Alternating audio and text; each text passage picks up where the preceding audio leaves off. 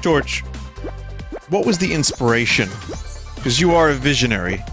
What was the inspiration behind naming the character Jar Jar?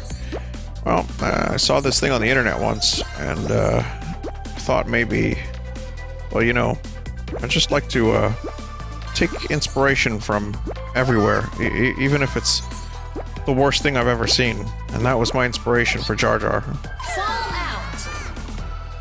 Ready? Go.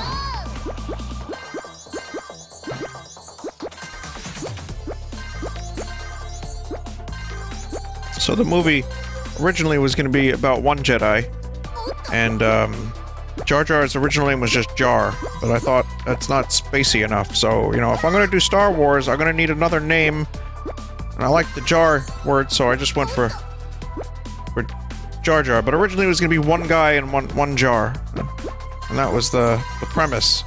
And then Rick McCallum. Uh, uh, told me to stop. He told me to stop doing the bit, so I stopped doing the bit,